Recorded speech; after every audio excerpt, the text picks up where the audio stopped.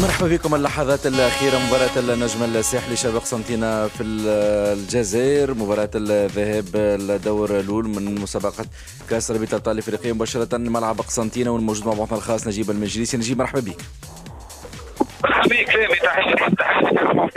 كل هذه المباراة في اللحظات هذه بانتصار كبير للنجم الساحلي. اثنين بلاش هي نتيجة المباراة هدف أول كان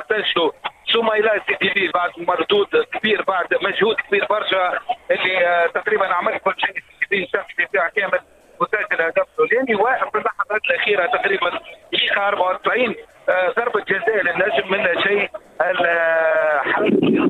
رقي العواني والحكم يعلن على ضربة جزاء للنجم. نفذها بنجاح حمزه الجلالي انتصار مهم للنجم. نقولوا انه النجم عمل خطوه كبيره برشا. للترشح للدوره الثاني للدوره التمهيدي الثاني من كأس رابطه الابطال الافريقيه وأيضا زاد الثاني الحقيقة هو بالمردود الكبير اللي قدمه اليوم النجم الساحلي الحقيقة شفنا مباراة ممتازة جدا تكتيكيا وفنيا بالنسبة للساحلي ومردود كثير في دور اللاعبين. أبرزهم اللاعب اليوم محمد كريم السبيلي الحقيقة لاعب نستنيه منه برشا في الكره التونسيه اللي قدم مردود كثير على كل سنين بلاش هذه هي نتيجه المباراه صالح مع اجواء كبيره لهنا في ملعب سيد حملاوي قاعد يقوم بها جماهير البلد ألف مبروك للنجم وهم ناجحة في قسنطينة في انتظار كما قلت تأكيد التأهل للدور القادم نجيب بمباراة العودة في سوسة الأسبوع الجاي نجيب نعرف شنو التطورات اللي عندك والمعطيات اللي عندك لأنه بعض الأحداث في صفوف جماهير النجم الساحلي شنو هي الصورة بالضبط وكان تمنى على جماهير النجم حقيقة يا فهمي كانت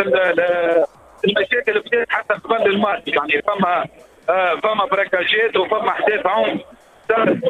في المباراة هذه قبل المباراة ما بين الجماهير الزوج فرق شفنا حتى محاولات بتاع آه، افتكاك. يعني الحقيقة بدات قبل المباراة وتطورت بالمباراة تبادل وتراشق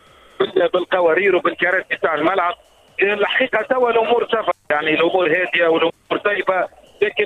تشنجت شوية الأمور في وقت من الأوقات لكن الأهم والمهم أنه نجم نحقق نتيجة إيجابية وإن شاء الله أكيد الجماهير الحاضرة اللي اللي حدث بكثره الحقيقة وديبلاسمون متميز جماهير الاكوار على الأقل تروح بانتصار مهم.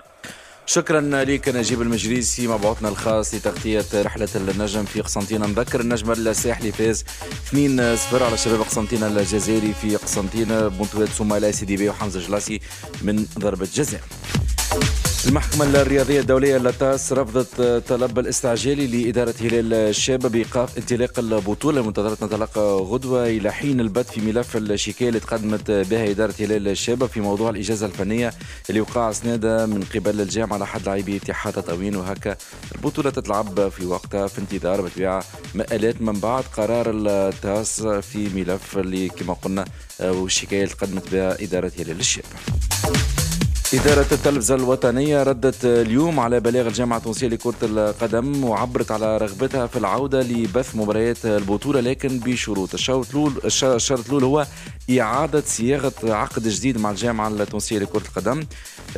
النقطة الثانية هي الموافقة على دفع مبلغ 4.4 مليار دوات وفاصل سبعة في العام الواحد لكن مع الحصول على البث الحصري لمقابلات الرابطة الأولى والكاس والمباريات الودية للمنتخب الوطني دون منح الشارة لأي قناة أجنبية أو منصة عندهم حقوق البث. في خصوص مشكلة العقد القديم التلفزة الوطنية طلبت إيجاد حل بالحسنى في إطار لجنة من سلطة الإشراف أو مع طرف تحكيمي يتفقوا عليه الأطراف الاثنين.